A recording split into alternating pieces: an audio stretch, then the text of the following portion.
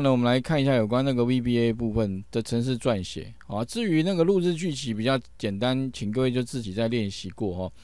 那首先的话，第一个呢，我们就是来撰写那个呃黑名单筛选 VBA 的部分。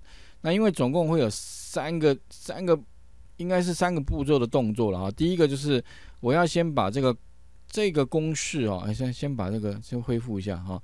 第一步的话呢，就是我们刚刚做的，把公式啊输入到查询名单这个工作表里面的 B 二，一直到它最下面，Ctrl 向下啊这个动作。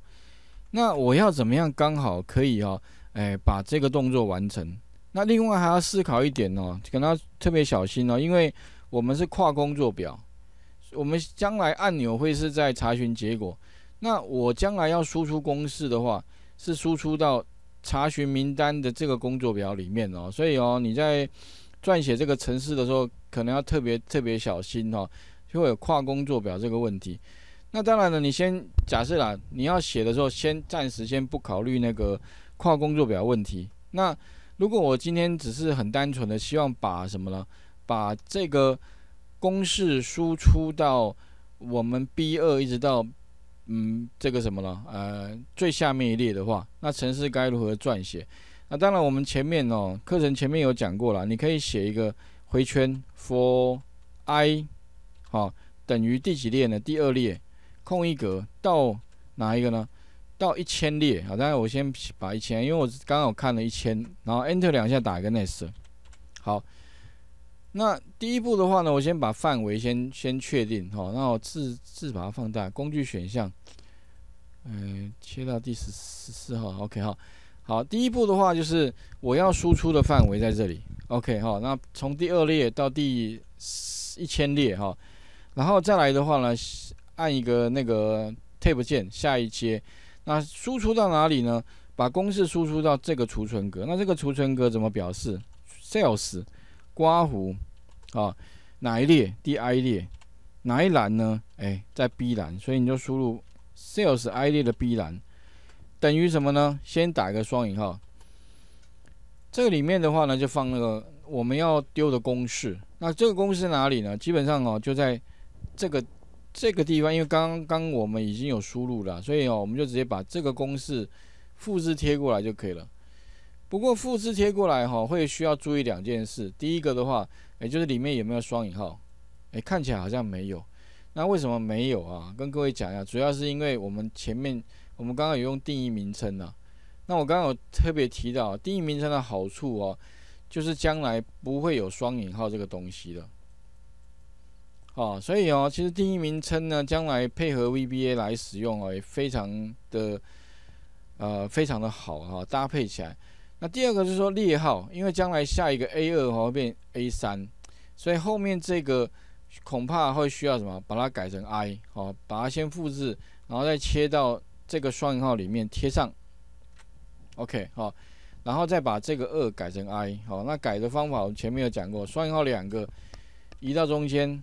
and 两个移到中间，再加一个 i，OK，然后并且把 and 前后都加上空白。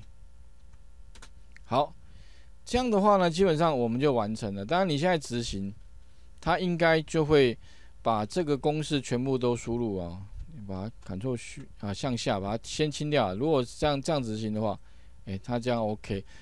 可是哦，各位要注意一点，就是将来我要执行的话，它会是在这个按钮按的位置是在这里，所以如果你假设你现在这个地方按下去的话，它会变成输出哈，会输出到这里。OK，我按一下一个，但是这一定会出错了，它会变成在这里，而且会很慢。那为什么呢？因因为我们要查的范围，它变成要重查，那里面都没有资料，所以会出错。那出错原因是因为哈，我们是跨工作表，所以呢。我们输出的并不是在呃同一个工作表的这个范围，而是在这个工。那怎么叙述让他知道说哦，我并不是在呃目前的这个工作表，而在这个工作表啊。特别注意，你可能要多学一个物件名称叫 sheets。OK，刮胡之后跟他讲说哪一个哪名称啊？名称部分，像这边现在跑很久了哦。我教过一个技巧，如果你这个执行跑太久的话，你可以按 Ctrl 加一个 Ctrl Break，好，可以把它什么强制中断。Ctrl Break 的话是在这个键盘的呃右上角那个哈一个 Pause Break，OK 哈，然后把它 Ctrl 它就侦错，它就停下来，你就直接按停止就可以。它就不会再跑了。哦，把这边先清掉，因为这个这个是错误的了哦。砍出就向下，哦，它其实跑很慢哦。那我们只需要在哪边呢？只需要在输出这个公式前面这里啊，输出到哪里？输出到这个工，不是输出到我们现在目前的这个呃工作表，而是这个工。那所以哈，记得在储存格的前面跟他讲说，哦，不是在目前的工作表哦。而是在另外一个就是 sheets 刮胡好，然后这边的话呢，就跟他讲说哪一个工作表刮胡再加一个点就可以了，在哪一个工作表的那一个储存格里面，那当然我们给一个名称啊，或者是说如果你不给名称，你输入一也可以啦。一的话指的是第一个工作表，好，那我们保险起见，我们还是给一个名称好了，这边叫做查询名单。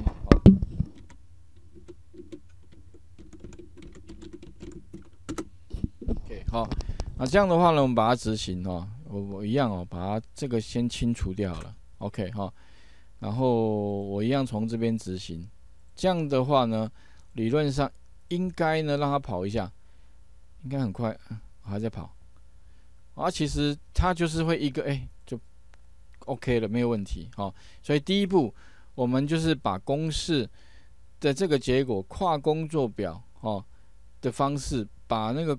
那个公式丢到这边来，这个是第一步啊。那待会的话呢，我们再来看第二步。第二步要做什么？哎，既然呢我们已经把这个公式丢过来了啊，第二步的话呢，就是要完成所谓的资料里面的筛选。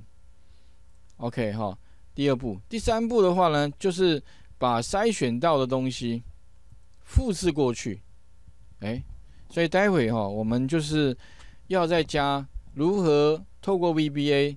执行所谓的筛选，这个是第二个。第三个呢，如何把我们要的范围复制到哦另外工作表？所以这个是复制哦，复制的话是 copy。这个也是蛮常同学问到的问题。